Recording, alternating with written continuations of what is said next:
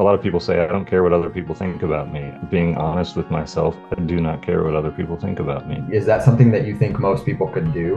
I think they could if, if they want to bad enough and they're willing to learn. You have to have a mindset that's open to learning and you have to know how to learn, which is a major thing. Does anyone else just want to sell everything they have, quit their job, and move into the woods? Buy some land with low property taxes, spend a year building some solar and rainwater collection to completely get away from the bills? Just live out in nature, raise your own food, get healthy, learn the old school ways of making food, maybe build an outdoor kitchen with pallets. Of course, there's the whole struggle of giving up some modern conveniences, but how much do you really have to give up? Sure, you might have to build your own internet tower and point it through the holes in the trees to a cell tower way over there. Live in a camper for a couple years till you build your cute little cabin. But really, you don't have to give up all the luxuries. Why can't you play online games in the middle of the woods? Off-grid solar power doesn't always have to be a battery with jumper cables to a light bulb. Maybe you can run some air conditioning or high pressure water out of the sink.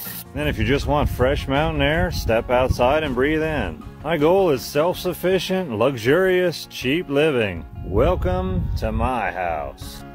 Meet Nate Petroski, a man who has gained millions of followers while homesteading and stewarding over 100 acres of land. Nate's story shows the power of perseverance, faith, hard work, and more.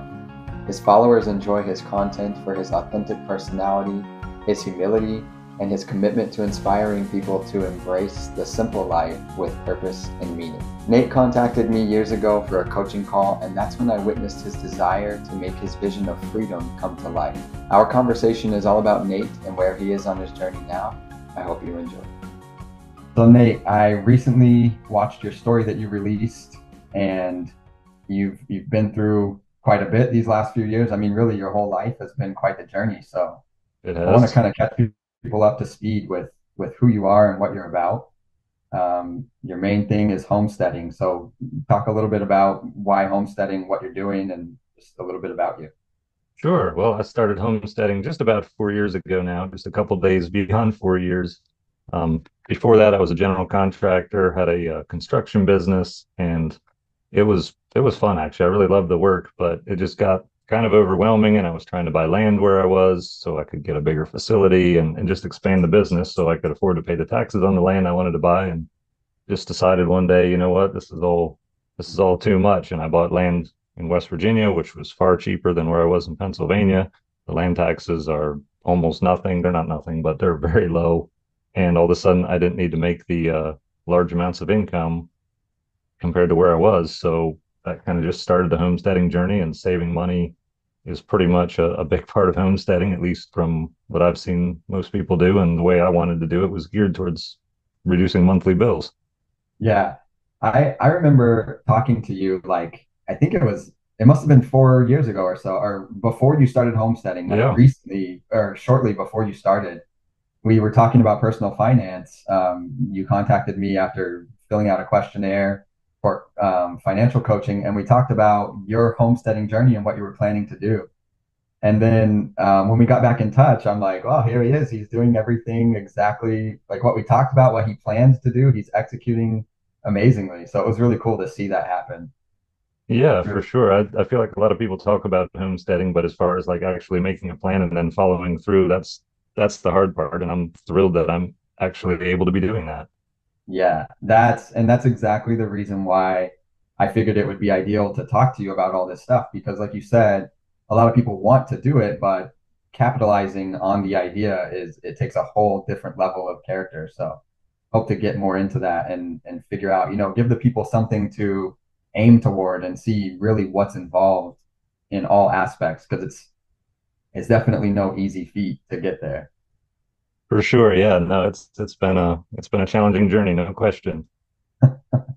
so tell me about your your parents. Um, in your story, you talk about your family, and you know you had some mishaps here and there with siblings and things like that. You also talk about your upbringing, but have your parents been supportive of you homesteading? Was that something that they had in mind for you since you were a kid, or does it matter to them? Tell me about that.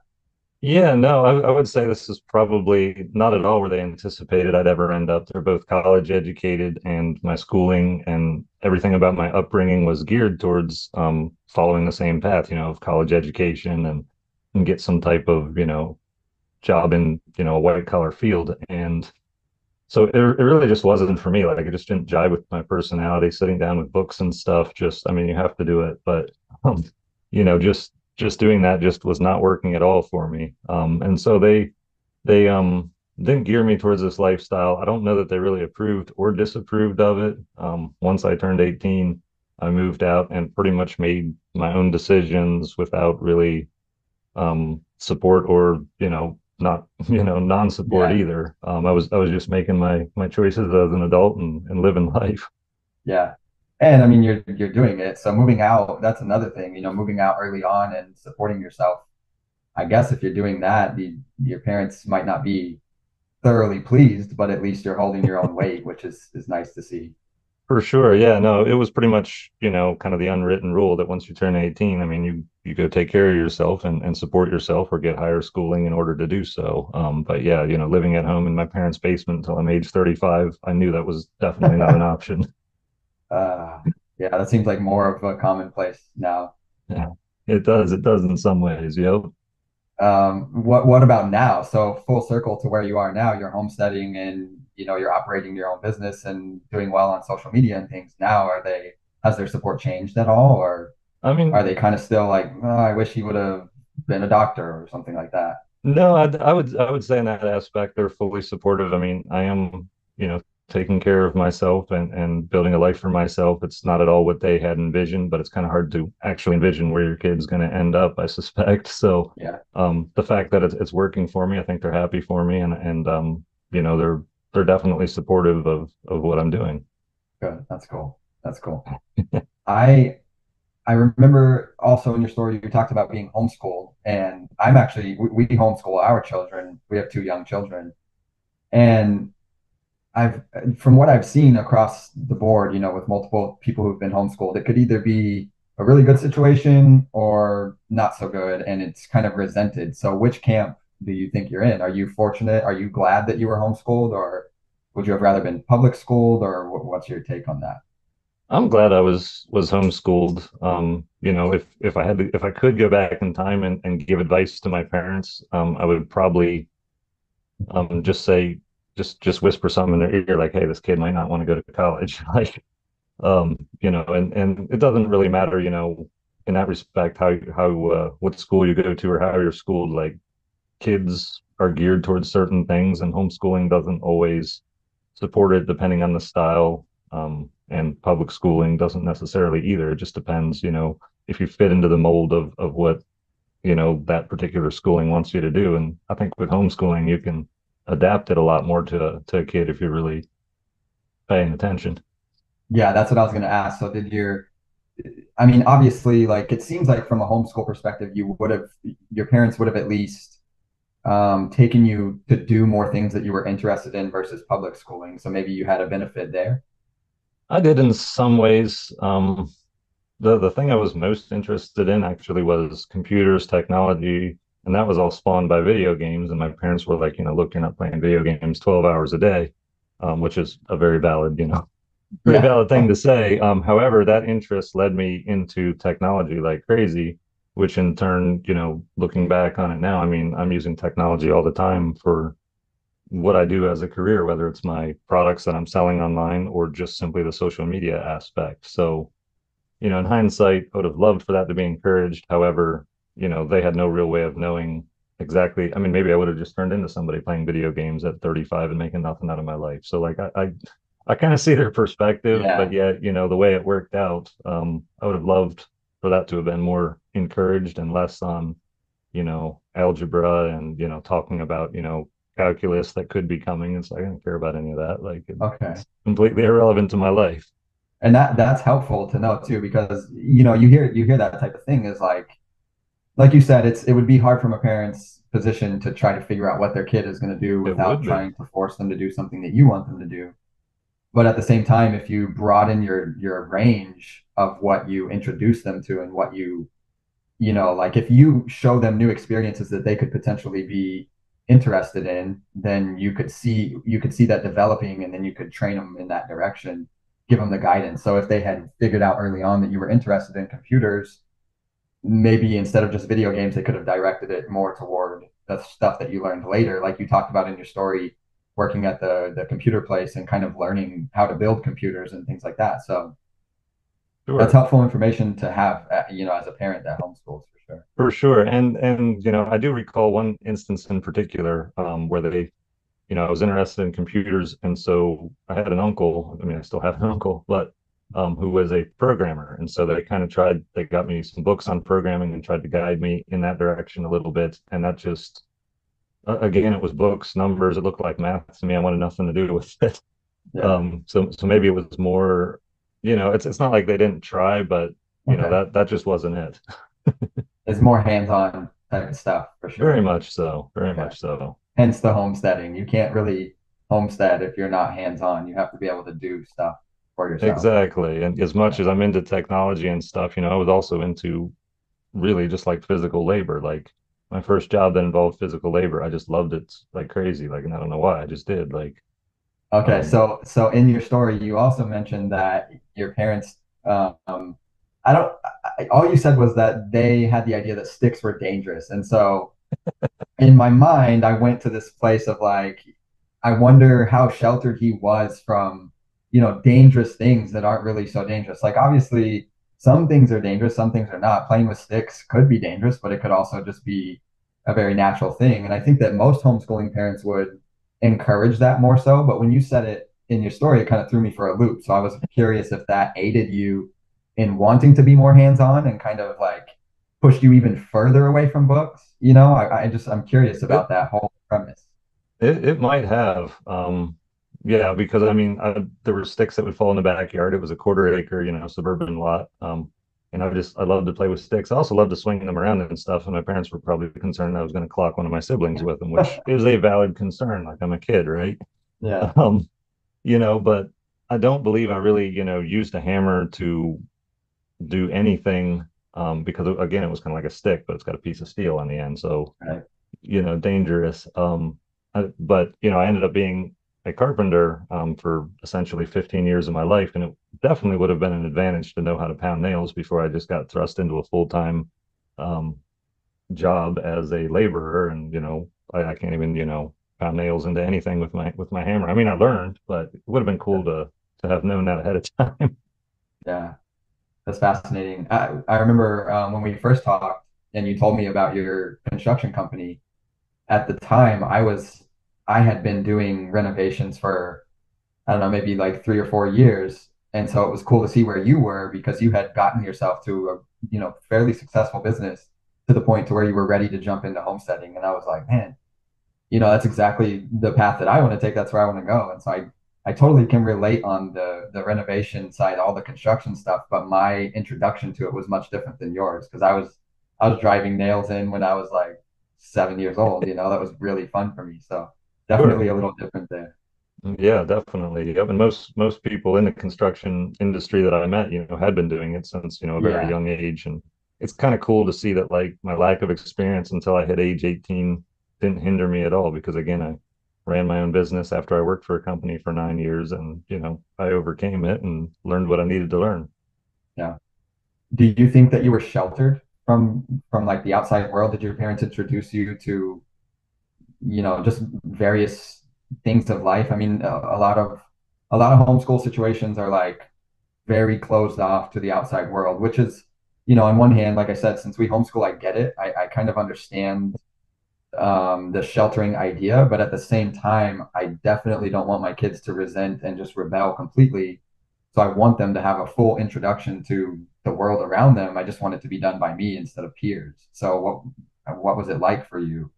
Sure. And it it was probably more sheltered than I would have preferred. Like, I mean, even using now again, it's it's back far enough um that like, you know, just using the the telephone, for example, I think I was 16 before I was allowed to to, you know, use use the phone. But then again, who was I going to call anyway? First of all, I was an introvert, and second of all, like I, you know, would I have public school friends? Not really. Um, but the last two years of, of my schooling. Um, ended up going to like a co-op. So every, I think it was every other week, Friday, it was set up with a bunch of homeschool families, just like a, a school, if you will, and classes and all that. So, well, I was like, you know, in my opinion, still over sheltered. Like they, it wasn't just like a completely like, you know, isolated environment. And especially as I got older, they did open up more and, and present more opportunities and all that. Okay. So you got more of the social aspect later in the homeschool journey with the with the co-ops. I did, I did, yep. And you know, if I'd gone to public school, I would have gotten a lot more social experience for sure. Um, but then again, you know, we went to churches all the time, and I got social mm-hmm. experience there to a point. Yeah. I also got bullied, you know, in in those scenarios. Um, you know, people weren't nice, and I'm already an introvert. So regardless of whether I was in a regular schooling environment or homeschooled, I still would have been introverted and withdrawn. Like it, it was my personality. Yeah, I, I can see that. Is that still your personality today, despite you know doing all the social media and having the the presence and following that you do on social media? Absolutely. Um, I one one thing that just kind of helps is when I'm you know making a video, it's just me and the phone. I'm not literally yeah. speaking in front of millions of people. However, in reality, I'm speaking to millions of people. Um, yeah. So it's you know doing doing a live, um, you know, is, is usually more just whatever. Like it just feels weirder when I'm like in front of a live audience. Um, but a lot of a lot of you know I've learned to appear like an extrovert just simply because of my experience um, being a contractor. There's customers to interact yeah. with, um, lots of like just conversation. I actually subcontracted for another contractor, and we did doors and windows. And so I was meeting customers for the very first time, um, right there when I show up with materials to do the job, and we're talking through. They think I'm incompetent because I'm younger, and you know i install a door and they point to you know the gap between the framing and the door frame they're like what are you going to do about that and you know yeah obviously i'm filling it with like spray foam yes it's window and door spray foam no it won't bulge you know but whatever it's like i'm filling it like but we're not and so i got myself into having conversations even to the point where i'm still thinking through a problem while talking to them because the questions are so telegraphed anymore like and it just kind of like makes me comfortable talking to people. I can articulate what i mean and yeah. Yeah that's i think that's one thing that a lot of people gravitate to from the content that you put out is it's it's just very simple but it's quality communication. Like you're clearly saying what you want to say. You're to the point. There's no there's no difficulty with your communication style so it must just be that you're you just prefer to keep to yourself which isn't a bad thing you know there's nothing wrong with that for sure and you know that was kind of the other step of, of getting good with communicating and with people is getting on social media i have somewhere around 10,000 short form videos behind me now. Um, and that has, you know, I, you can go back and watch my early stuff. Please don't because I can't communicate. I'm not talking clearly. I don't know what words to use. Like as, as time has gone on, I have absolutely made a uh, better um, appearance with just simply in short form content helped me because I have to put this info in 60 seconds and put it there. Um, yeah. I learned a lot from it. It, taught me. yeah, I, I, mean, hey, I guess that's with anything too. Like that. Obviously, if you stick with something, that development comes over. That's the journey of it all. Sure. Yep. In in your story, um, you talked about the situation with your ex-wife, and seemed like one of the turning points to to me, at least from what I heard, was you were really focused on what we just talked about, developing and growing. Like obviously, growing your business is going to require a lot of time. And so you were putting a lot of time and energy into growing your business, and your intention was to provide a better life for you. And, and I'm guessing you were anticipating having a family and doing it all for that. And so, what what have you learned throughout the process with your ex-wife and also growing the business and the dedication and the time that it takes? How what have you learned to balance those things? What you know, how do you manage the balance between those two things? Because it's definitely not easy to do that either. No, it's not. Um, and and part of part of it is like, I mean, you you have to prioritize, and so the way people budget money, I budget time. Um, and I don't really budget money all that much. I just make sure stuff's profitable and less is going out than than is coming in. Um, but I budget time, and so so much amount of time has to go towards making money, promoting business, whatever it is, and you have to leave a certain amount of time for not doing that and for family or for other things that are a priority. Um, that being said, when when you're starting a small business, like it takes every waking minute to absolutely drive that thing to be successful, or your startup time will go from two years to six years, you know, and you won't actually be successful because you've only half-heartedly attempted. And I, I'm I'm an all or nothing type of person. I mean, I've I've worked on my business, um, even the social media and all the products I have. Um, I've definitely put in days back to back over 16 hours. Like, you know, I've, I've fallen asleep places that were not my bed because I just got exhausted and I wasn't done yet for the day. Yeah. Um, so there is an aspect of that. And I think, you know, if you're married, your wife should, you know, it's got to be a together thing. You're either both working on the project or you're working on it separately and you're going to go separate ways sooner or later. Like you've got to be on board with it. But at the same time, you can't just endlessly, you know, this is year five now and, and I'm still, you know, working 16 hour days. Like you either needed to scale back or pack up. That business isn't successful. Yeah, that I mean, and that that's exactly it. Like it's just that it's a challenge to balance those two things well because obviously you need to give your time and energy to the people around you. That's most important. But at the same time, if you don't develop your skills in a business or develop a business in general, you end up just being stuck in a dead end position that you don't want to be in, which you mentioned how you were in your job your construction job that introduced you to construction for I think like nine years or something like that, and you realized that it was not really going anywhere. I mean, eventually you got promoted, but that's a long time to be in one job that doesn't have a whole lot of growth opportunity. And if you don't start putting more effort into developing some kind of business or your work, then you kind of just stay stuck there. So that's right. It, yeah, it's it's challenging to navigate that having a family and operating business for sure. It is, yeah. And I, you know, I ultimately think it's got to come down to you guys got to have the same goal, you know. So before you start a business, make sure that your significant other is on board with what it's actually going to take. Yeah.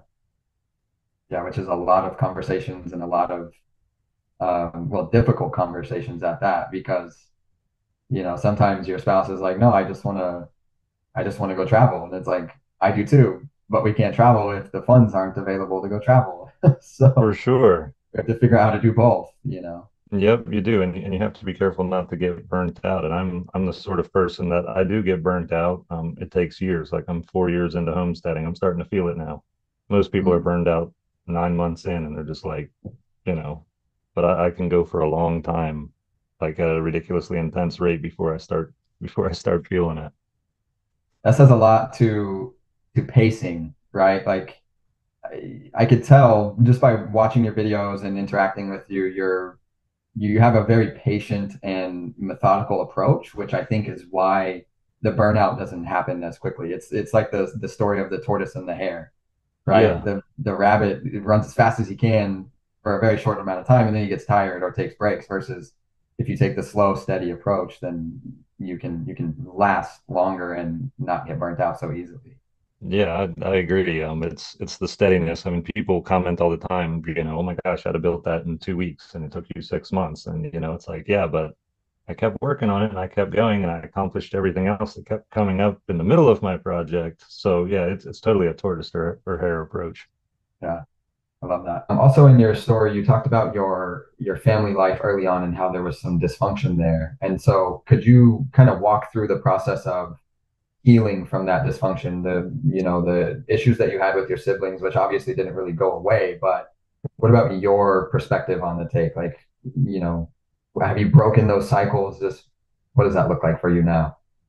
Sure. Um yeah no i mean my siblings and i like we didn't really get along almost from the start you know it's it's the typical like um you know older child middle child younger child scenario. I'm the oldest one um, ended up picking on my younger brother quite a bit. Um, probably, you know, looking back, you know, I was picked on by, you know, people at, at church and, and whatever. So like I was just kind of repeating a pattern of behavior. Doesn't excuse it, but um, yeah, it, it was one of it's one of those things, you know, I can recognize why it existed. And as, you know, both my younger brother and I got into our adult years, at least to my knowledge, you know, it was all water under the bridge. You know, I, I, had to go and just apologize to him, and and he said, you know, we're we're good, and you know, it was over and obviously I've been, you know, keep treating him badly and and uh yeah. No. It's it's definitely not always easy to get along with siblings, but I think it, it's just a it seems like it's almost exclusively a problem of immaturity. And sometimes age helps you grow out of that immaturity and sometimes it doesn't. In some cases, the age means nothing and the immaturity just sticks around indefinitely. For sure, that's definitely true. uh, you in your story also with your ex-wife, I think one of the big things that stood out to me is that you you mentioned at least once, maybe twice, how you were pushing for professional help in, in the form of counseling. And yeah. I, just I, I find that interesting because not a lot of people want to confront their problems like that. So what was your mindset during that that process? Um, my mindset was was really pretty simple. Um, you know, we were we were having dysfunction in, in the marriage. I wasn't treating her good. She wasn't treating me good. We, you know, had had formed habits of the way we interacted that was just toxic. Um, and I kind of identified it. I saw my own faults, at least to an extent, and I'm like, we we just can't continue like this. Like it's either you know going to fall apart or we're going to get over it. And so, and I, and I just told her like we're not getting over it. We have to and some of it had to do with you know the affair too because i wasn't really I was trying to get over it but it, it's not something you just you know say get over it and then you're like oh i got over it cool um yeah so it, it was it was one of those one of those things and she didn't want counseling she did not want to you know she was ashamed of of what she did and of course she doesn't want to talk about it and i'm just like we have to like do something to try to move past it or we're not gonna. Yeah and there's so much wisdom in that because you you really you don't just heal you know? No. It doesn't it doesn't just happen on its own. I think that's kind of the expectation that a lot of people have is like let's just move on and it's that trauma trauma situations don't work that way. You don't just move on past them. You have to navigate and regulate through all of that that's that's exactly right and and you know people say time heals all and then the word grudge exists and if that word would simply not exist in our language if time actually healed everything it doesn't time can heal stuff but time can also lead you to be a resentful, bitter person instead of, you know, an angry in the moment person. Then you're just resentful and bitter. So you have to do something and repeatedly do some things along the path so you can be somebody who's a forgiving person who's actually moved past versus a resentful person. Yeah, I, I recently heard a quote. I don't remember exactly how it went, but essentially the idea is time doesn't do anything. The character that you build or don't build is what brings the change. Sure. Yeah. And it's so true. Like obviously time could just keep going on forever. And if you don't do anything, it stays exactly the same. Yep, I agree. When you, you brought up the affair, and I did, I, I'll touch on it briefly. You mentioned how you thought that it was, or she was telling you that it was, I mean, in a roundabout way, she was telling you it was your fault, right? That you were gone all the time you were working, and and so that was her response, which is seems incredibly irrational to me. And then you mentioned when you did go to counseling and it was pretty effective counseling, you mentioned that they told you, the counselor told you that it wasn't your fault and affirmed that to you. And so I was curious, was that the first time that you were that you fully accepted that that it wasn't your fault or did you have doubts and kind of think that maybe you were guilty and it was your fault that she took the actions that she did so i mean I, in my head i knew that it wasn't my fault I believed it was my fault, regardless of, of what I knew. Um, and you know, up to that point, and even after that point, I still, you know, I mean, there were still things I did wrong, and so guilt is a very powerful emotion, and it tends to overwhelm the logic side of you, and it's very easy to see from the outside of a situation, which is partially why counseling or something is is helpful because you need an outside perspective outside of your own outside of your own emotions um, and yeah. so I, I still a lot of the time believed it was my fault. You know, if I'd have been a perfect person, then this wouldn't have happened. And that's probably true. However, I couldn't possibly be a perfect person. And um, regardless, you know, it, all those issues and things that I didn't do right were my faults and led to marriage problems. However, an affair is a choice beyond any of that. And it, that was her response and that just is unacceptable in all circumstances yeah and it's but it's wild how that type of subtle manipulation can affect you and cause those doubts and those feelings of guilt and everything to be even stronger and then just keep contributing to the problem. Absolutely. Yeah. It's it's wild. It's a it's a lot to mentally uh wrestle through. Yeah. So the the counselors that you found were through a church, right? Am I That's remembering that right. correctly? Yep. Yeah. And that, I mean, what was that process like? Because typically you would expect, you wouldn't expect someone in a church to be like a professional counselor. Right. No, for sure not. Um, and you know, whatever counseling stuff they did use, that you know, they they kept God at the center of it. Um, but they were, you know, also very well, very knowledgeable in in counseling from previous, like they weren't actually professional counselors at that moment in time. However, they had been. Um, so they were basically retired out of it. Okay. And so it was it was good because they just focused everything on God first, and then they basically, you know, they're basically like if your priorities are aligned and you guys are then united on this priority, you guys will come together. And that's essentially the way it worked, you know, to be real brief about it anyway. Yeah. So your faith was like kind of a roller coaster since childhood up until now. What what has that journey been for you? Like obviously faith has been a big part of your whole journey. So where are you at now? And I I find it very interesting that there's always been something to fall back on, and it's something that you came back to multiple times, it seems like. It is. Um, yeah, I mean, basically, I'll I'll just give a brief almost timeline of it. You know, I was a I guess I guess a, uh Baptist, you know, as a kid, went to Baptist churches. Age 16, my parents became Mennonite, so did I.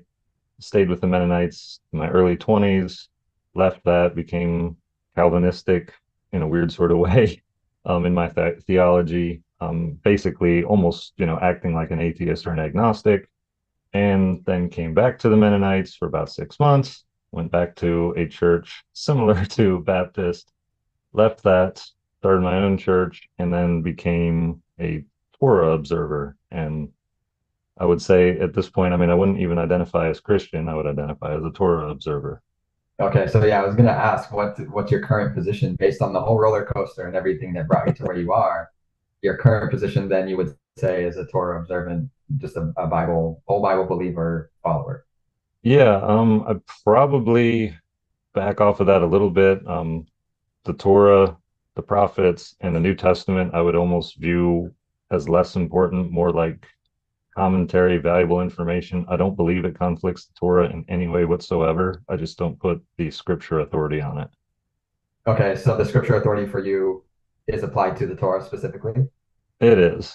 Okay, I I mean, hey, I can go with it. Like I'm our our paths i think that's that's the way you found me initially when you reached out to me way back was it must have been like what it was fascinating going back and listening to your story because i could see this the part where i briefly came in seemed like the time where you started to um, do your own home church and started to study and learn because you mentioned that you found somebody on facebook talking about the sabbath being on saturday and you were trying to prove him wrong that it was sunday that was the new day and all this stuff and you couldn't figure it out and i was going through the same journey and I started, you know, segueing my business into something else. And then you found me in that in that moment. And so through all of that journey and all of the study, I've kind of I've come to a very similar place as you. Okay, that's pretty It's been cool. it's been fascinating to see. It just yeah, I, I don't know. I wonder how many I wonder like what the timeline is for most people because that's one thing that that I admired about what you talked about is you were faced with some situations throughout your journey in faith. For example, the Mennonites um, requiring that you button your top button. And Right. one of the questions that you asked was, where is that in the Bible? And that's the perfect question to always ask because I think, and maybe this was your experience, you could correct me if I'm wrong, but I think a lot of people fall away from any type of faith because of what they experience with people in that faith and what those people say and do. Absolutely. No, I, I think that's right. Um, you know, it's it's hard not to do, but when you, you know, get into a group of religious people, um, you assume that they are represent representatives of God, and they're not. Um, they, you know, may say they are, they may try to be, they may reflect many things of God, but they don't officially represent God. And so if they do mean, hateful, spiteful things, you immediately think God is doing mean, hateful, despiteful things. God agrees with these people. That's not necessarily true. Yeah, and you mentioned that that that was your reason for, or at least one of your reasons for believing that God didn't like you was because people who were allegedly godly people didn't like you. Yep. And I, when you mentioned that you went to, um, I I kind of got the probably have the timeline a little bit mixed up, but when you mentioned that you went toward Calvinism, I laughed a little bit because, and I'm curious what like what brought you to Calvinism and what convinced you that that was that that was true. So I couldn't shake the belief that God existed because there's just been too many coincidences throughout my life that there can't be that many coincidences. That's a whole other coincidence. Like Yeah. God exists. And I fully believe that. And believing that, and you know, I was able to look at my own life too and see I wasn't perfect. So like, how am I a Christian if this is how I'm behaving? This is what I'm thinking. Um, and so I basically just started searching all kinds of different religious ideas. I knew of Calvinism, and I was like, hey, you know, you're either predestined to hell or heaven. And it all of a sudden everything fit. It's like, well, I'm predestined for hell. That's why I keep behaving this way. That's why all God's people hate me. And so I'm like, cool. I believe in Calvinism, and I'm just on the wrong side, and there's nothing I can do about it. And philosophically, it fit perfectly, and that's what I went with. It's such a, I mean, it's a it's a strange place to be in because you completely you just completely ditch all of your control over your own life whenever you start to think that way. And how, I mean, how long did that affect you? Like, how long was it that you assumed that you were just chosen to be on the wrong side and you had no power over any of your destiny? It was probably a period of a year and a half to two years. Yep, it was it was quite a bit of time. And that's that's a long time to kind of put your life on hold and not really not really try to achieve or attain any different worldview.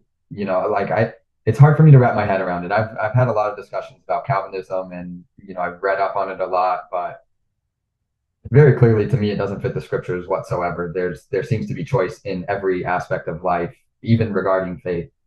Right. And I mean, there's calls to action all throughout the scriptures of the necessity for you to choose to either follow the commandments or not follow the commandments. And, you know, it's, it's just riddled with examples of the necessity for you to choose.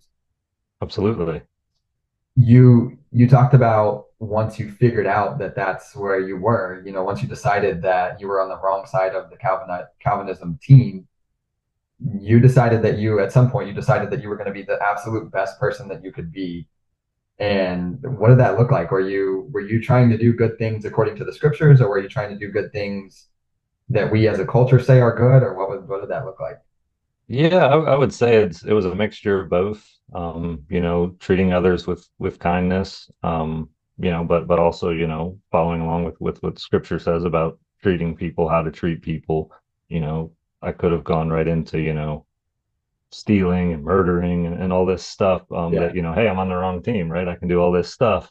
Um, I pretty much chose like I'm gonna at the end of time, I'm going to stand before God and I'm gonna be like, I know I wasn't chosen, but this is all the stuff I did, and in my attempt, I know it wasn't good enough. I'm going to hell anyway, but hey, I tried, and you know, walk into the fiery pit on my own. crazy. That's a crazy place to be in. I wonder why. It seems like calvinism contributes a lot to the idea that nobody can be good. Like i don't know. It, it's it doesn't it just doesn't jive with scripture that that you can't be a good person and you can't do good things and that there's not value in doing that. But i it's very undermined in most religions like it's it seems like it doesn't matter whether you do good or not you know Sure. Yeah, know no, it's it's a there's a lot of talk of, you know, faith is all you need and works, you know, our filthy rags don't matter. uh yeah that that's one of the one of the ones that's completely out of context For sure. I think that's one thing that I've seen most often with, you know, not in every case, but in most cases when you have any kind of discussion about these types of um, topics, you realize pretty quickly, at least if you've studied a lot, you realize fairly quickly that the person on the other side of the conversation has only read bits and pieces of the scriptures that they're claiming to believe and follow. Sure. And you can see that that's why there's so many holes in their ideology. Yeah, I agree. Um, you also mentioned that, well, you decided you weren't religious anymore. Was that at the same time that you thought you were on the wrong side of Calvinism? Or did you, I mean, just now you mentioned that you never could just believe there wasn't a God. Did you ever get to that point? I didn't. No, I, I just believed that God exists in some form and he hates me. Okay. So if you were to give advice to your younger self or somebody in your position who is kind of understanding God based on the people around them, what would you tell that person? I, I would just say that there's no man on the face of the planet that's actually a representative of God. And just kind of use an analogy like, you know, let's say your your neighbor has five kids and every time you go to go to school in the morning, one of those five kids beats you up, takes your lunch money, maybe two or three of them do. Um, and they'll say, My dad told me to do this. And it's probably not long, and you're just going to think that that person's dad, those kids' dad, is just a horrible person. Meanwhile, maybe this dad doesn't even know you exist. Maybe he knows you exist and doesn't hate you. Maybe he does hate you. You know, I mean, I'd, I'd throw it out there, like, but just make sure that if you know that God hates you or is against you, you're interpreting somebody else's actions that you know says they're doing it on on their behalf, but may not be. Yeah, that the the analogy with the kids and their dad, it, that's a really good analogy because you do you get exactly that. I mean, you know, God told me this, or the Bible says this, or God told me that, and it's it's definitely completely distorted. I would say that if you want to know God and you want to know his character, anything about him, you have to go to the source, Sure, Absolutely. which is scripture. hmm It is. Of course, there's the whole thing where scripture's been interpreted by man and Yeah. translated by man, and and so like I understand that whole argument. And honestly, I don't know the scripture well enough, as in like I don't know Hebrew. I don't really know what it says. I'm relying on a man's interpretation or transliteration. Um, but you know, honestly, it's just because of the way my life has gone and the circumstances that I believe he exists because of the way he's responded to me, or the fact that there's been 15,000 coincidences in my life to make me believe it. It's one of those two. Yeah. Um, you mentioned I, I've been curious to know what was some of the things on your list because you mentioned that there was 10 reasons that you came up with why God hated you. Yeah, um, I really wish I had written that list down because I literally do not remember most of them. Um, some of them, two of them in particular, I pretty much figured I had a, a gotcha moment for God because there were people that had wronged me in the past, and I'm like, these people are going to have to come and apologize me for the to me for these specific things, and it's never going to happen. And both of those things actually came to pass, and I Oh, wow. don't, I still don't understand how free will and everything works with that, but on the other hand, I also know like I've wronged people before and felt overwhelming guilt for whatever reason. And so I may have been prompted to, you know, I still had the choice not to go and apologize to some people I had wronged. However, typically that's what I did. Yeah. Wow. That's fascinating. What, what was it? How did you realize that God didn't, in fact, hate you? What was your like aha moment? Was it that, would you say? It it, it was, I think one of those was the last on the list. Um, and I I don't completely remember everything that was on it, but once that list had been cleared, particularly the last item that I thought was impossible, um, it was the reasons why I believed God did not exist or did not, you know, like me, and I was on the wrong side of of God. Um, and that's what I believed, and I believed it so strongly that once those things were gone, I'm like, well, I got nothing. Wow. Um, you mentioned earlier the idea of moving on. Like when I brought up counseling, you mentioned the idea of forgiving and moving on, which is like a common theme that you get, you know, that you're you're taught and preached to that you need to just forgive and forget. But Right. that's that's incredibly unrealistic. Like life doesn't work that way. You can you can forgive, you know, you can even move on, but it comes with it's such a journey and, and a long process. It's not I think that it's preached as like kind of a get over it mentality. Yeah. And I just, what, what are your thoughts on that? Like, obviously, it didn't work for you. No, it, it didn't. Um, you know, forgiving and moving on is really the the way to do it. And ideally, at some point, you move on to the point where you're not thinking about it, not holding it against the other person, whatever it is.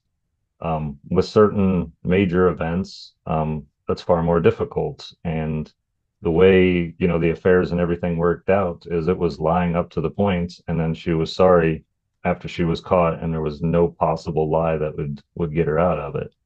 Um, and and so and there was even you know two back to back and it was the same thing. One was going on while she was apologizing for the first one. Um Wow.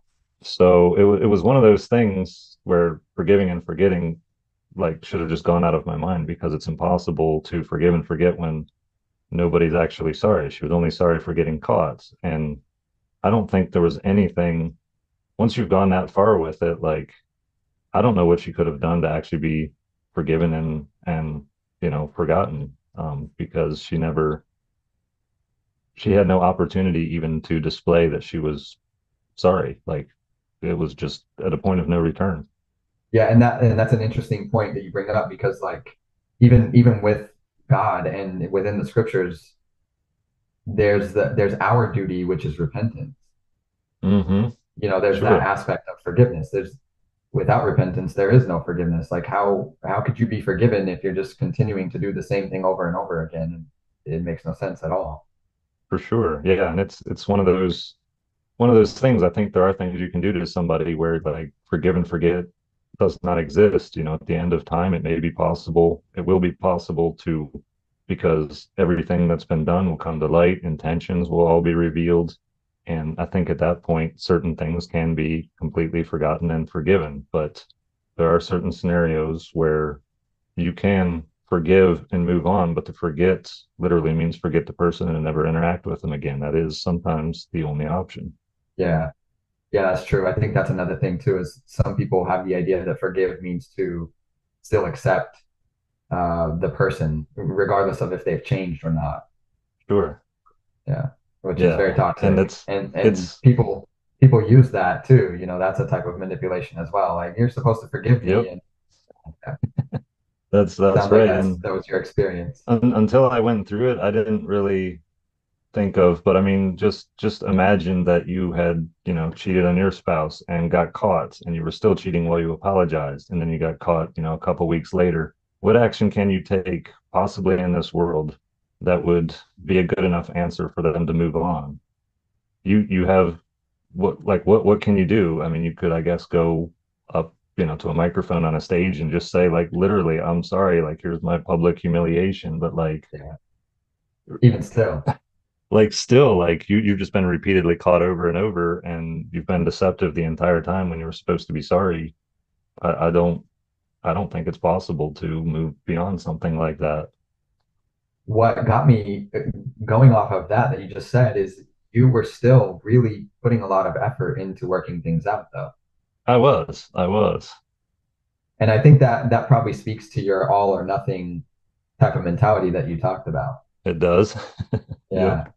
So there was a moment where you were willing to follow the Mennonite group and uh, whoever else was involved. It was like that part was fascinating too, because there was like it seemed like there was two or three different um worldviews involved with trying to kind of dictate your relationship and how you would, you know, manage all of that. there And so you talked about how you were going to just go along with whatever they were telling you to do with, you know, to to work things out. And you got the call from one of your friends who started talking to you about um, mind control and things like that, and and talking about Job.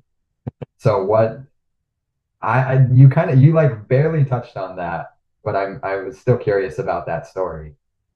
Yeah, no, it was it was it was really something where like I just got worn down after, you know, so much time had passed and people are just talking at me for hours a day and sending me scripture and you know, I I just got to the point where I convinced myself, and I shouldn't have, but I got to the point where I convinced myself that like this was the only way to move forward. I'm obviously such a bad person and like I can't see it.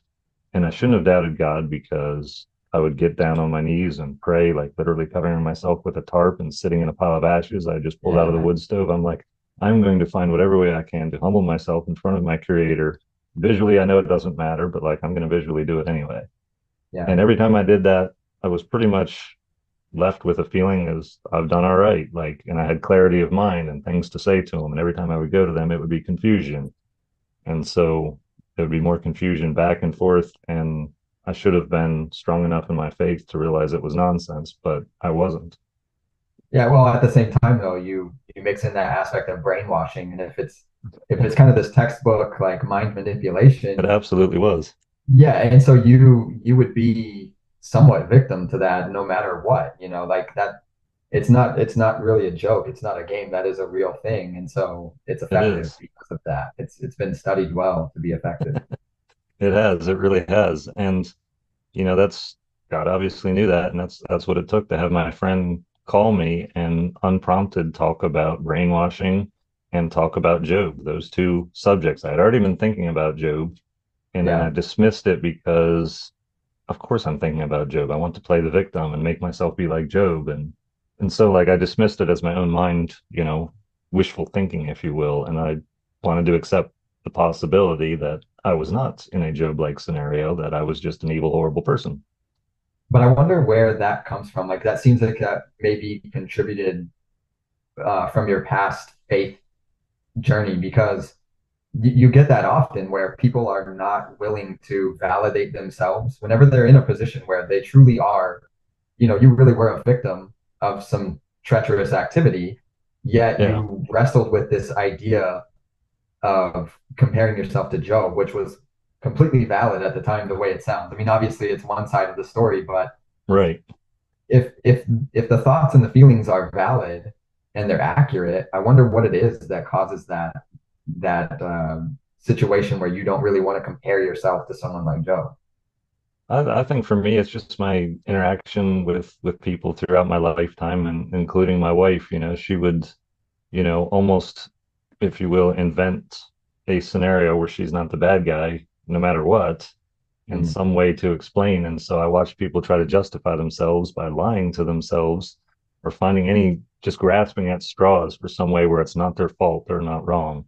Um, and so I thought I was observing that that behavior in myself, where like, am I really mm-hmm. grasping at straws for anything that makes me not the bad guy here?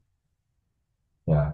Which is, I mean, it's fair to, you know, to do that self-analysis, It but at some point you have to realize like, okay, the situation's messed up. I literally haven't done anything that I can find fault within myself. So it's not wrong to feel and think that way. And that's what I dislike is that it's viewed as a bad thing. It's like if I look at myself as Job, it's viewed as a negative where Job Right. wasn't really he wasn't taking pity on himself. He was just defending himself like I didn't do anything wrong to deserve all of this. It's just that this is, you know, what God has in store for me right now.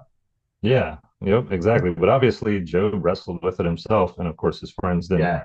didn't help. Um, and Yeah. I mean, that's the other reason I kind of felt in that position too. Is like I had friends that weren't very helpful either. You know, friends. Yeah. Yeah. Yeah. That obviously wasn't who they were. It's crazy. It, it's hard to it's hard to see through that type of stuff though, especially when there's like you said, when there's faith involved and you're you know, you're kind of giving them the position of being a godly type person, you hold them to a higher standard and you look past some of the the red flags, as you would say. For sure. So that was kind of the end of that whole situation because you had the conversation with your friend and like you said, it was one of the 15,000 coincidences that had happened in your life. And so it pushed you to the point of finally ending all of that situation. And that was when uh, it seems like that's when the homestead started to become more of the focus and when it started to flourish more. It did. Yep. I mean, it did begin begin the process of me eliminating these people from my life, which included buying the land out of their names and and going through a divorce. But once that was concluded, and while it was concluded, the homestead was starting to flourish a whole lot more.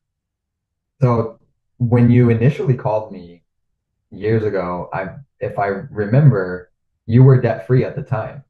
I was.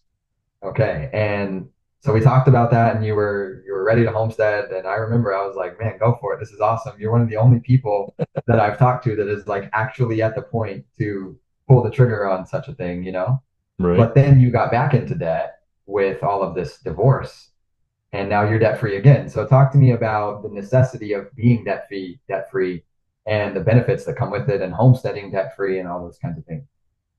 Yeah. Um, so being debt free is just a big stress burden that's that's lifted off your shoulders, particularly when homesteading, because I mean, even now, like my income is not consistent at all. And so if you work on a homestead that's in debt, and let's say you've worked on it for five years and you still owe, you know, another five years, you hit hardships, everything you've worked for could be taken by the bank and partially completed projects, you know, are worth nothing to someone else. And you essentially lose not only your property potentially, but that whole block of time that you spent. So the debt-free homesteading, eh, would you consider it to be financial peace? I would consider it financial peace, yes. It's it seems like the points that you made, if you have a truck payment or something like that, and you don't have a reliable steady income, especially because you're on 100 acres, you know, and you're that's what's consuming your time, it seems like the most practical position to be in. Yeah, I I think so. And it's, you know, it's still possible that you don't have financial peace because you do need some money to exist, and you never know if the county is gonna up your taxes a thousand percent or something. Um, probably wouldn't happen, but hey. Um, so it, it's not impossible, but like it's probably as good a financial peace as you can get. Since since stopping the construction business and being on the homestead and starting your other business, you know, the, the social media and the products and things like that, has your perspective on earning money changed? Do you still, I mean, you said you still spend a lot of time working on your business, obviously, but you have so much less financial obligation that in my mind, your, your whole perspective around earning money would be a lot more relaxed. Yeah, and that would be true if I hadn't gone through that whole scenario of getting plunged back into into ridiculous debt again. Um, so once I hit a certain financial threshold and diversify some investments and some of that, I probably will. I did. Um, once I was debt free the first time, I just said, you know, hey, I'm good, and totally had that, you know, peace about like I don't have to worry about making money every day and, and stuff like that. And then I discovered other people can put you in a really bad position. And so my perspective has changed to the point that I need enough assets that I can still sell stuff off or use them, you know, to continue to make money. Um, so it's at this point, it's beyond, you know, just being debt free for me based on my experience. I've, I've only had this mindset for the last approximately two years because mm. of all that that took place. Yeah. yeah. You, you've gotten creative though with your circumstances and what do you think that anybody can be creative like that and just you know kind of roll with things on the fly if they i mean obviously you were groomed for that based on running your own business but right. is that something that you think most people could do? I think they could if they're if they want to bad enough and they're willing to learn. You have to have a mindset that's open to learning and you have to know how to learn which is a major thing. Um, would you but, say that Oh, sorry. Go ahead. Yeah, I mean, you you do. I do think anybody can do it if they want to bad enough and understand that thinking outside of the box is mandatory. Yeah, uh, that would you say that's the main thing is the inability to allow yourself to think outside of the box? Because most people seem to just kind of want to stay in their lane and not get out of that. For sure. No, I, I do think that, that people, you know, place their own mental restrictions on themselves because they're comfortable. And so I know how to make money at my nine to five, or I know how to make money in this conventional business. And I just have a general confidence about myself that I can be in any scenario and make the best of it. And so, you know, even on social media, I do certain things that, and people are doing wild, crazy stuff on social media. And I still find ways to repeatedly go viral in ways that other people, you know, with things that other people really haven't. And so it's, it's just constantly out of the box thinking. And I've, just to just as an example, I put Goog no, I didn't I didn't put googly eyes on a lamp. Um, Jen Jen, my girlfriend made a uh, cardboard eyes and put a pupils on them, and I stuck those on a lamp and I put it on a live and had over a thousand viewers for quite some time watching this lamp. And I named the lamp Lampula, and it was just a lamp sitting there with a plant next to it. And people created this whole backstory for it, and you know they had their whole creativity thing going, and you know just just absolutely wild stuff. Other people are out like you know crashing junk cars and getting views that way, and I'm like, Oh yeah. put cardboard eyes on a lamp and and get views. Yeah. That well, I I like that that's been kind of the route of your creativity is I've heard you say a couple of times that you sell coffee and you sell beard products, um, some merchandise and things like that. But I've heard you say you like coffee and you have a beard and you take care of it. And so that's kind of the route that you've gone. So it seems like realistically anybody could could categorize their pursuits that way in the sense of I like such and such, so how can I be creative enough to earn money doing it? For sure, yeah, and it's it's one thing I've I've done throughout my whole life, um, to different degrees of success. But the thing, my hobbies, I've turned into money-making businesses. Um, I've, I've just always done that. Yeah, that that's been my philosophy too, is that you can, at least in America, you have that opportunity for sure to take whatever you like and find a way to make money at it. Mm-hmm. Yep, I, I think you can. I mean, you do. You have you still have to have the fundamentals of business, which is being dedicated and and um, you know, the, the whole customer service aspect and the financial aspect. Like you have to have those fundamentals behind you but you can essentially take anything and and make it into a business if you're passionate enough about it. Yeah. Yeah. So would you say that some of the main characteristics needed would be passion, maybe presentation, and work ethic? Yeah, probably put work ethic first. Yeah. yep, yep, nothing, nothing just, I mean, the other thing I, I tell people too is everybody, at least we'll go with America because I've not been anywhere else, so I can't speak for them. But everybody in America has, in throughout their lifetime, probably has two to three major opportunities that could make them ridiculously successful and wealthy. Everybody has them, and the vast majority of people squander them. Um, for me, one of the things was somewhat blowing up on social media. Um, and I have absolutely capitalized on it and pushed really hard three years after the first kind of explosion to get to the Yeah. point where I am now. Yeah. And that that comes from the work ethic. It does, yeah. And so sometimes when good stuff happens to you, because good stuff happens to everybody sooner or later, if you work hard to capitalize on it, like don't don't squander your opportunities. Some people will get something real quick. You know, I, see a lot of people blow up on social media, push real hard for three months, get a couple free items sent to them by people that like their content, and that was the extent of it. Wow. Yeah. You mentioned um, going viral for for several things, and I remember one of the first videos that I saw after you had uh, it was one of your viral videos, and it was a short video talking about how people assume that homesteading is this, you know, low income, trashy, just like not trying very hard, repurposing everything type of situation. But you explained how it's not, and you showed how you have your paid off truck and your nice washer dryer combo and stuff like that. So, why do you think it is that that's the perspective of most people about homesteading, that it's just like a trashy type of thing? Well, a lot of people um, run their homesteads in such a way where it is that way. Um, and it, it's, you know, not a knock against anybody homesteading. And I've definitely homesteaded in that exact scenario myself.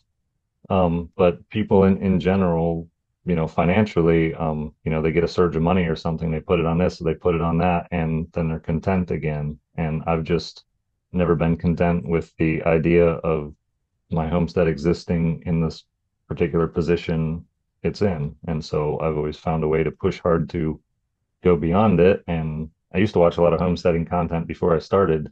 And I'd see people doing stuff that I just thought was ignorant. And instead of leaving dumb comments, I made mental notes. And I'm like, when I homestead, if I homestead, I'm going to do this differently. And I've applied most of the things that I've witnessed and then, yeah, changed. Yeah. So, there's definitely a difference between being frugal, because it seems like you've been very frugal with your money, versus hmm being cheap and trashy. There is. There, there's a huge difference. And, you know, despite the fact that I have a truck that's definitely not a low end um, truck, you know, I'm still happy to build something out of pallets or you, you know eat a cheap meal somewhere um, just because you know money. You know, I like to save money. The reason I save money is to spend it on stuff I want to spend it on. So Yeah. there's certain things that I want to spend money on. I don't know how to build a truck out of sticks out of the woods. As soon as I figure it out, I'm going to let everybody know. But I don't know how to do it, so I'll build the things I can with sticks out of the woods, and you know, buy a truck. Yeah. Well, unfortunately, too, I think most people go broke because they're so concerned with their status, but they're trying to reach a Right. status of a nice truck way before they can pay for it. That's exactly right. Um, and Yeah. it's it's it's one of those things that, you know, status just really shouldn't mean what it does to most people. Um, and I find myself in a unique situation where purchasing a truck should generate income and has generated income and there's a tax deduction on top of it. So there's, you know, most businesses can't justify buying a truck that appears flashy. Social media is one of those businesses that that does seem to work out. Yeah. Yeah, I've seen so many of your comments saying that you're a fake because of some of the nice stuff that you have. Yep, absolutely. I get a lot of them. Yeah, funny. That's Uh, the wrong definition of the word, though, because if I was being fake, you wouldn't know about the truck and then you wouldn't call me fake.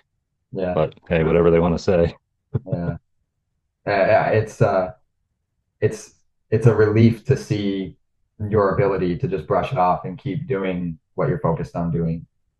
Yeah, it's and, and I wish I had a way to convey how to do that to other people. Maybe someday I'll figure it out. But um, I I think in a lot of ways, like a lot of people say, I don't care what other people think about me. I think being honest with myself, I do not care what other people think about me. Yeah.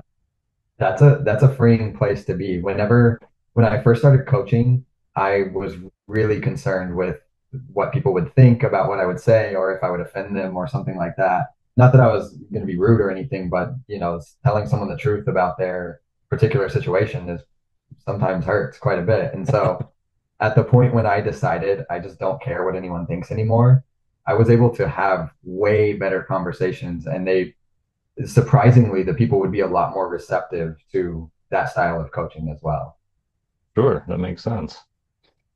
Um, your your online community is seems like it's a big part of you know everything that you've built so far. So I am curious about how you view community and if it's as necessary to you to have in-person community as you do online community. Yeah, um, I do think in-person community is preferable over remote community, if you will. Um, I put value in all of it, but I do have very close relationships with my neighbors. Um, and at the same time, online, I have I have quite a number of people that I have, you know, as close relationships with as you really can. Um, I, I strongly value community. I think uh, people are social beings, even if they are introverted like me. I still think they're social beings and it's, you know, sure, you might be able to survive on your own, but I don't know if you can really thrive on your own. Yeah, so being in your situation where you're more distant from people around you, and because you know, homesteading seems to be isolated. I don't know your particular situation that well, so I don't know if you truly are isolated like that, but does it does it become more important to have people around you once you get out and away from society, so to speak?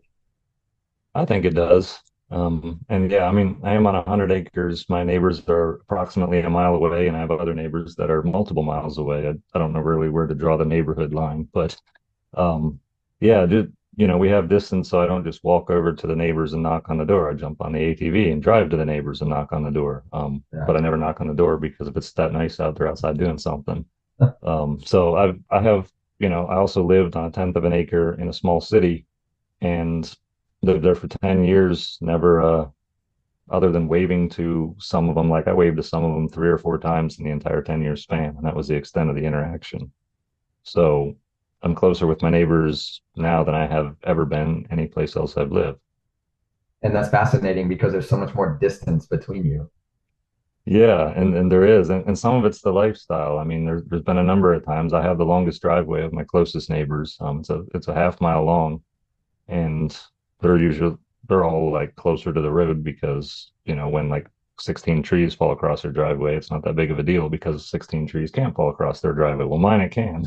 And Yeah. so oftentimes, you know, if it happens, you know, we're all out cutting trees and everybody gets firewood and I get out and, you know, that it's pretty cool. It's it's just you rely more on your neighbors out here. Yeah. I mean, that's that's the real sense of community. It is. When you when you talked about finding Minion, your dog, and you said that you found purpose in when you were telling your story, my mind went to that idea of community. And so I I wanted you to elaborate on what you said that you found Minion and you found purpose. Can you elaborate on that some? Yeah, um, so I'm kind of, I think a lot of it's personality trait. Um, I'm the type of person that like if I was the only person that existed and you know this is the reality I lived in, I'd probably just literally live in a hole in the ground with tarp over my head and, and call it good. Like I'd be like, whatever. Um, but when it comes to taking care of something else, like my sense of responsibility is just ridiculously elevated. And so I had Minion to take care of, and my sense of responsibility was elevated, and I needed to train him, and he needed to be fed, and you know all this this stuff. And so it, it gave me purpose, as in something to take care of and love and be responsible for. Yeah. Which at the time seemed like the perfect fit, one of the many coincidences again, I suppose. Absolutely. Yep. One of those so, so-called coincidences. What would you, if you could give again your younger self advice or somebody else in, in a similar position, what would you say to somebody um, in regard to developing community and finding the right people, the right friends compared to the types of friends that you had previously? Yeah, that's that's tough. Um, you, you have to realize that there's acquaintances and there's friends, and just like people talk about red flags in relationships, you need to also apply red flags to just casual friendship relationships. Um, and that even includes acquaintances. You know, if if somebody lies to somebody else and you're aware that they lied to them, that's a red flag that hey, this person, you know, does this, and so you need to place a boundary, you know, between you and them, whether it forces them into the acquaintance um, position forever or not, you know, it's up to you. But but place boundaries and realize that most people's aren't most people aren't your friends. And some of where I learned that is from growing big on social media. And well, I don't personally value the quote fame like really highly, like it's super cool, but like I, I just don't place like incredible value on that. Well, many of my friends did, and jealousy came out, and Hmm. I was unable to recognize it, and that led to some some issues. Yeah, yeah, you talked about that. It's it's unfortunate that you you couldn't see that in them previously, you know, before it all took place. Sure. Because it seemed like once everything came together for you, you had no real issue with just putting a stop to it. Yeah, yeah, and that's that's that's pretty much it. You know, I just kind of identified it's a very telltale. Jealousy is really easy to identify in most people because there are people that will just sit you down and just be like, I'm genuinely happy for you. And other people will be like, I don't get why you, you know, you have this or why you're so popular or why. And I would just agree with them because I literally do not get it. Like, I don't know why I'm so popular. So I'm like, yeah, I don't know. I don't get it, but hey, it's cool, right? And they'd be like, oh, yeah, it's cool. Well, yeah, that was jealousy talking the whole time. They're like, you know, I don't get that. But that's an immediate red flag. And that person, you know, someone does that to me again, that person will never be eligible to be a friend. Yeah. Well, I mean, you know, those those types of experience definitely provide really good lessons. They do. Yep, they do.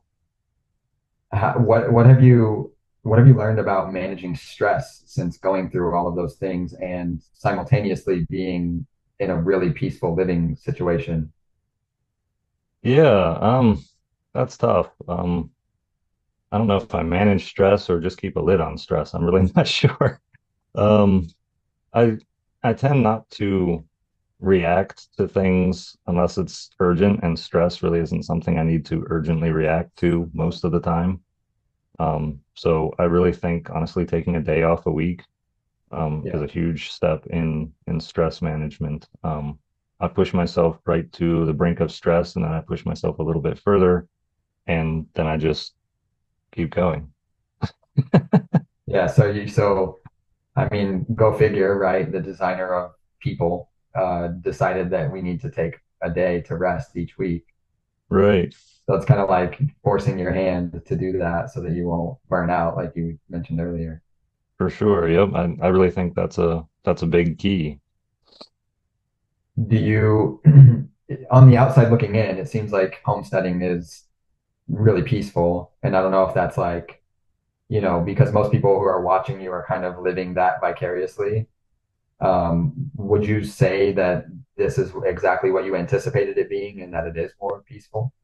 I would say it's exactly what I anticipated it being. However, I didn't anticipate it being peaceful until everything was built. Everything's not built yet.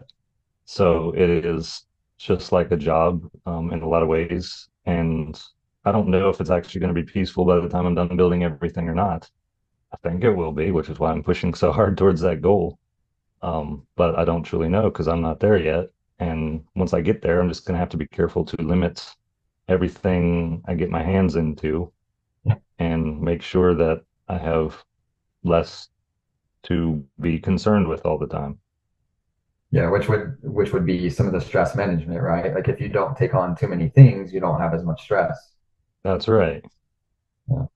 And since I try to be efficient with my time, I take on just enough that I don't completely like crack. And been doing it for four years now, and I've made a lot of progress. Yeah, that's awesome. What what's left in your vision for the homestead as far as building? Um, a garage, a house. Um, I have a basically what's going to be guest quarters, um, which I'm staying in right now, which gives me time to build the house in the way I want to. And I'll probably end up with a barn of some kind.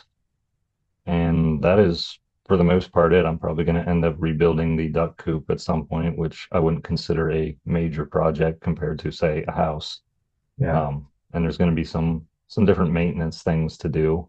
Um, but at some point, you know, I'm going to realize, you know, right right now I'm two years from being 40 years old. Um, I don't need this homestead to last 200 years. I'm not going to live that long. what was what was kind of your initial idea for homesteading? Was it was it just the idea of peaceful living or interest in growing your own food or what what was it for you? It was probably some of both. I mean, a lot of it was freedom. You know, financial freedom was a part of it. Freedom in general, when you have 100 acres and you live on it, like you just have more like literal freedom. If you want to run outside screaming, well, you know, it's okay. Nobody's going to notice. Um, so it, it, it's just uh Yeah, it, it was mostly freedom. Um, providing my own food is definitely something that's important to me. I also realized that while I'm building the homestead, I can't focus on storing up all these canned goods because I don't have a basement in a house or any place to actually keep them. So food has taken a back burner, um, for the most part, not always. Like I've found foraging food is really awesome and I didn't have to plant anything. I didn't have to water anything. I just had to walk out there, pick it and eat it. That's cool. Yeah, I was going to ask about that because I remembered you talking about growing your own food, and I was curious where you were at on that journey. And if my, my incentive for wanting to do that is to be more in control of my health because of, you know, everything that we have access to is just not the best all the time. Sure. Yeah, no, for sure. And I do want to grow my own food. I'm going to get my own eggs from my ducks. I'd like to get the flock big enough where I'm getting like a lot of my meat from the uh the male ducks that can be processed at the end end of every uh summer season, fall. Um, and they are other than about two to three months out of the year providing their own food for themselves. So they forage completely everything. That's awesome. Would you say that homesteading has contributed to better health for you, or even despite all of the things that you went through? Yeah, I would say it has. Um, while I work just as much, it's a different type of work and everything's so unique. Um, you know, if, if I'm, you know, doing a renovation, you know, it's a lot of stuff on the hands and knees and carrying, you know, cabinets upstairs or something. And, you know, it's, it's the physical work is so diverse that my joints have gotten a lot healthier. Um, the food, you know, being, being healthier with food is definitely important to me, but I'm a really hyper focused individual. So, in some ways my health has not um increased just because you know well I've I've actually got a uh, some kind of something in my eyelid right now and I'm going to get a some kind of eyelid surgery it's not major um but you know well that's been there for nine months why because I can't take a day off to go deal with that I'm busy doing this stuff and so I'm so hyper focused that it's like I'm either going to survive and build everything how I want in my timetable, or I'm going to die trying, and that's just where I'm at. Oh man, don't die on this, Nate. I'll do my best. I've got a uh got Jen here to help me now. She's, you know, made sure that I eat every day and stuff like that because I literally just I eat once a day and I'm pretty healthy with that. Well, switching to eating every other day really wasn't that healthy, but look, I'm tired and I want to, you know, get this done or I want to get that done. So yeah. I didn't die, so cool. It worked out. yeah. yeah, I mean, I think I think it's fine to, you know, figure out what your body can handle and how long you can fast, things like that. Sure. So I, I don't see a big issue as long as you're not compromising your health to the point of malnourishing yourself, you know. Yeah, and I may have, have gotten a little too far a couple times there, but I didn't die, like I said. What what have been some of the mental or emotional things that you've learned about yourself, um, like things that you've had to overcome, or you know, just all the situation, all of the hard emotions that came through your story, and then having to persevere through the challenges of actually pulling off this homestead feat. Yeah, it, it's it's been a crazy emotional roller coaster. Um, you know, I've, I've gone through being super angry and being super hurt, and I mean, just basically every emotion that exists. Um, went through. It's been overwhelming. Um, honestly, having animals, ducks, and a dog, and you know, increasing that as time goes on. But like, I literally can't just lay in bed and mope about my life because those things are going to be out there and die. So get up, go deal with it, and moving around physically doing things, I think is really important for mental and emotional stability. And throughout the whole process, I've learned I'm a lot tougher of a person than I really felt like I was. Wow, that's that's cool to learn about yourself, you know, because it it provides um, more belief in yourself that you can accomplish hard things. And It the, does. the animals too. When you mention the animals, I think about what you said about finding your dog Minion and, and finding purpose. And when you have that definite purpose, you it gives you something to live for so that you can keep going. I agree. Yep. And and some people I really think can live for themselves and do just fine. It's like I just want this, I want that. And so they're the things they want will drive them to do what they need to do to get them. And I don't know. For me, it, it's just like I want to provide for, you know, other things, or I even just want to like even just growing a business provides a lot of motivation for me. I want to this business to be successful, and so I'll push like crazy in some way. I need purpose, a project, animals to care for, something. Yeah.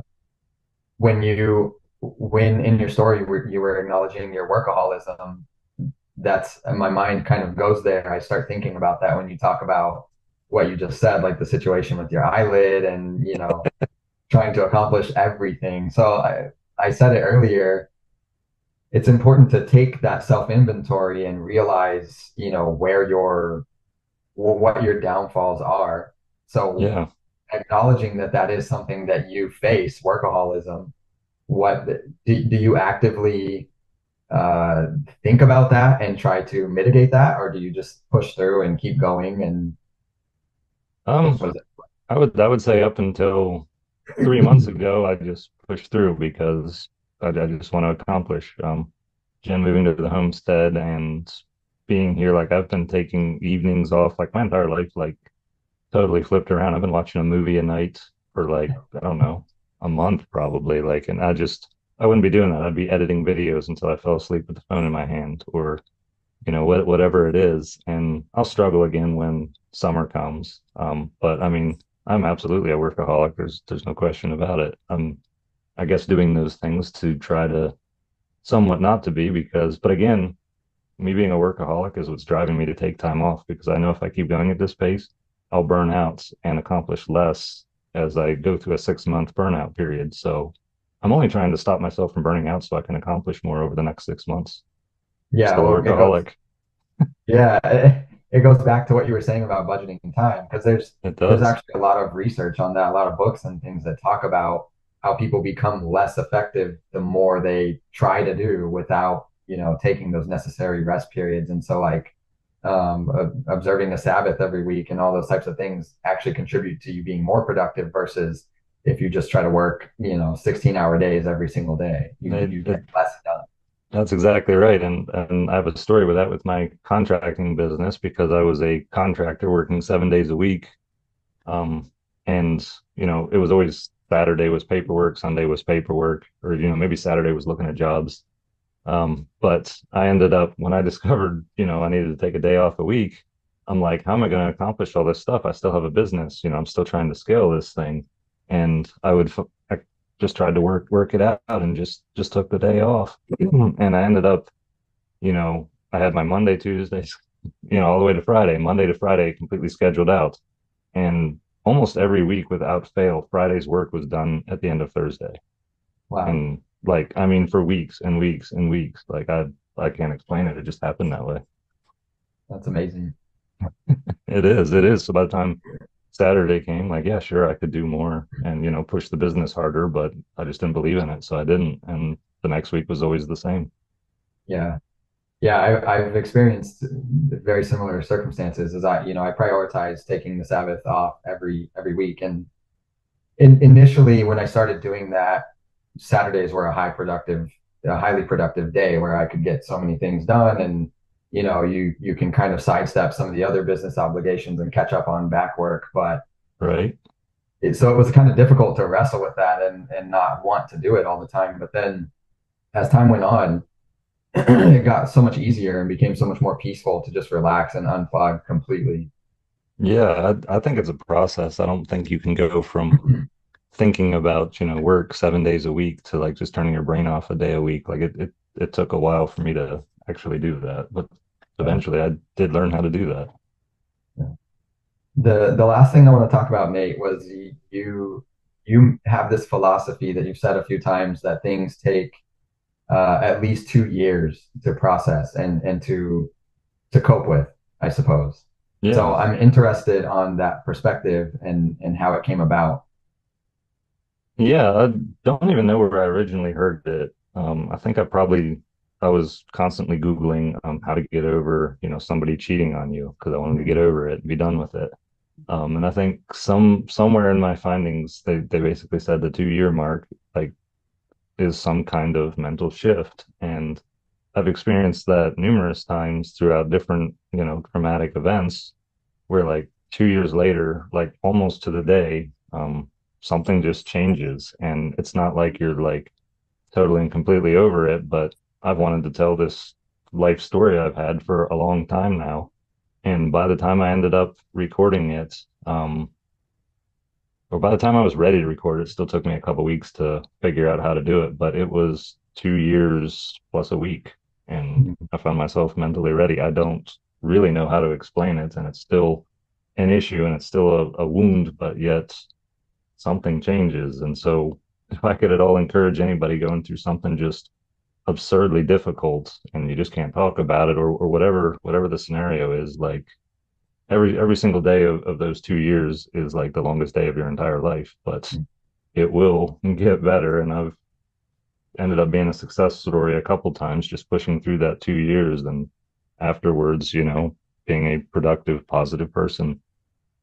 Yeah well it goes back to um, what we were talking about earlier is that the time necessarily doesn't do it. It's you know, I, I would be curious to kind of study and see like what are the changes that happen over that course of two years, because you have the healing phase. You know, you, you have the you have the initial traumatic, um, highly stressful and emotional phase, and then you have the coping phase, and then once you start to heal from all of those situations, and you start to become a better version of yourself, and by right. that time, in your circumstance, anyways, it's roughly two years, and it speaks to um, your approach, your patient approach with things like how you said, you know, taking six months to build your home, but it's exactly the way that you want it. And, mm-hmm. you know, that's completely different than how most things go with most people. It's more so get it done as quick as I can so I can move on. But then you end up suffering later because of that process.